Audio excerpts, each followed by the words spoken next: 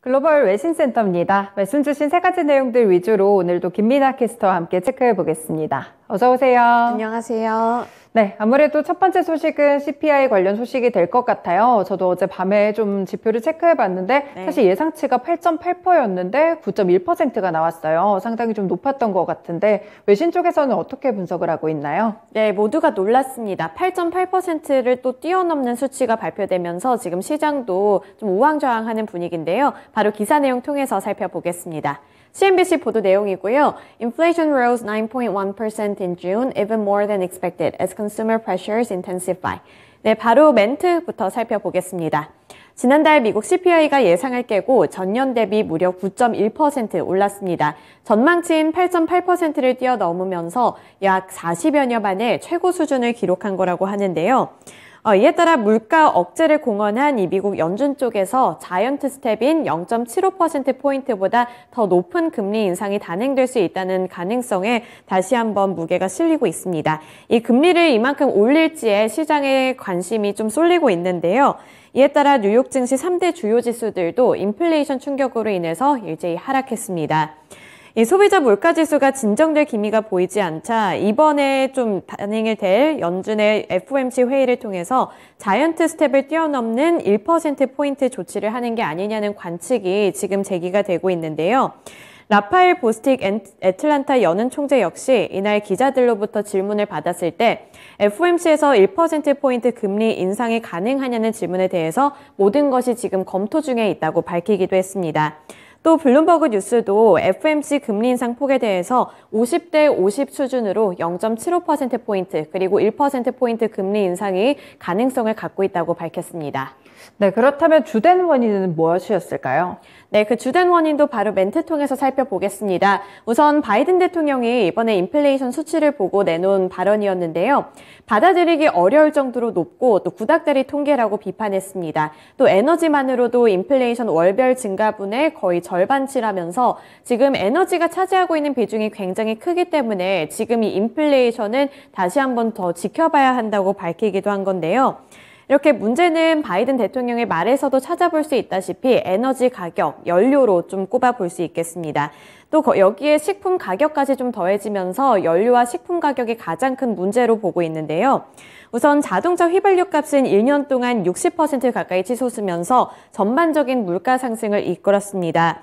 또 식품 같은 경우에는 계란과 우유, 또 밀가루 등 거의 모든 품목이 오르면서 응집용품 가격이 12%가량 상승했다고 하고요. 또 항공권 가격 역시 이 에너지 가격의 여파에 좀, 어, 여파에 올라타게 되면서 34% 급등하는 등 이런 여러 가지 부분에서 모두 다 타격을 받고 있다고 볼 수 있습니다. 어, 이번에 존 리어 모닝 컨설, 컨설트의 수석 이코노미스트는 가스와 에너지 가격이 오른 것이 경제 전반에 좀 많이 심각한 영향을 끼쳤다면서 지금 에너지와 음식료품 가격 이 부분에 좀 예의주시하고 있는 분위기입니다. 네, 이렇게 인플레이션 지표에 대한 평가들 외신을 통해서 살펴봤습니다. 앞으로가 조금 더 중요할 것 같거든요. 이 부분이 과연 정점이었을까 이런 의문이 들게 하는 그런 보도가 있었습니다. 네, 다음 소식 넘어가 볼게요. 네, 인플레이션도 물론 문제지만 경기 침체도 하나의 큰 문제잖아요. 네. 그런데 자꾸만 이렇게 경기 성장률이 좀 낮아지고 있는 것 같거든요. 어떤 외신 있었나요? 네, 이번에 IMF 쪽에서 또 GDP 성장률을 낮췄습니다. 바로 기사 내용 통해서 살펴보겠습니다. 로이터 통신 보도 내용입니다. IMF again cuts US 2022 growth forecast to 2.3% as consumer spending cools. 네, 이번에 뭐 미국 쪽에서 소비가 둔화됐습니다. 이에 따라 IMF 쪽에서는 GDP 성장률을 다시 한번 책정을 했는데요. 바로 기사 내용 통해서 살펴보겠습니다. 국제통화기금이 미국의 성장률 전망치를 하향 조정하면서 경기 침체를 피하는 것이 점점 어려워지고 있다고 분석했습니다. IMF는 2022년 성장률 전망치를 2.3%로 낮췄습니다. 아, 인플레이션이 미국과 세계 경제 모두에 시스템적인 위험을 제기할 것이라고 IMF는 주장했는데요. 전일 이번 보고서를 통해서 미국 경제가 팬데믹에서 빠르게 회복을 했지만 수요 또한 회복세가 나타나고 있기 때문에 공급망이 압박을 받았고 또 이에 따라서 인플레이션이 가파르게 상승했다고 분석했습니다. 아울러 인플레이션이 예상보다 더 지속될 경우에는 연준이 더 긴축을 해야 하는 상황이 올 것이라면서 이는 경제를 둔화시킬 것이라고 내다봤는데요. 연준이 인플레이션을 대처하고 또 물가 안정을 회복하기 위해서 신속하고 단호하게 행동해야 한다 는 결론이 나왔다면서 연준이 올해 들어 지금까지 정책 금리를 1.5% 인상을 했고 앞으로 몇 달 안에는 2%에서 2.5%가량 추가로 인상해야 할 가능성이 있다고 봤습니다. 이렇게 더 큰 긴축 움직임에 나설 경우에는 또 세계 경제가 경기 침체를 피해갈 수 없다는 것이 IMF 쪽의 결론이었습니다. 네, 이번에 연준 베이지북도 좀 함께 공개가 됐었는데 비슷한 내용이 담겼나요? 네, 그렇습니다. 이 결이 맥락이 비슷했는데요. 이 미국 연준 쪽에서 공개한 이번 경기 동향 보고서인 베이지북을 통해 봤을 때 최근 미국 경제가 완만한 속도로 확장하고 있다면서도 몇몇 지역에서는 수요 둔화 조짐이 커지고 있고 또 다섯 개 지역에서 경기 침체 리스크가 커지고 있다고 밝혔습니다.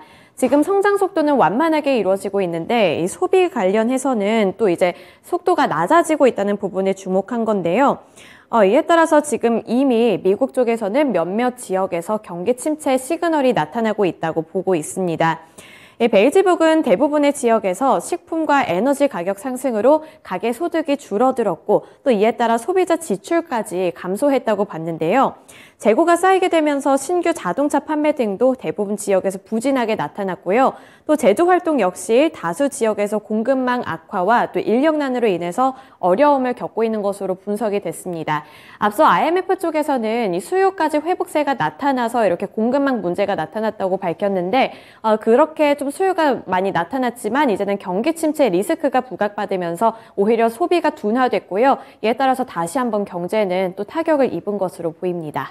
네, 경기 침체에 대한 가능성도 점점 커지고 있고 많은 기관들에서 이러한 비슷한 전망들을 내놓고 있다는 점도 약간의 시장의 우려감을 키우는 뉴스가 되는 것 같습니다. 네, 마지막 소식도 체크해 볼게요. 개별 종목 이야기인 것 같은데 넷플릭스 개별 이슈가 있다고요? 네, 그렇습니다. 넷플릭스 관련해서 바로 기사 보겠습니다. CNBC 보도 내용입니다. Netflix partners with Microsoft on ad-supported subscription plan. 네, 넷플릭스 주가가 최근에 많이 좋지 않았고 평가도 좋지 않았는데 이번에 어떤 협력사를 가져왔습니다. 바로 멘트 살펴보시죠.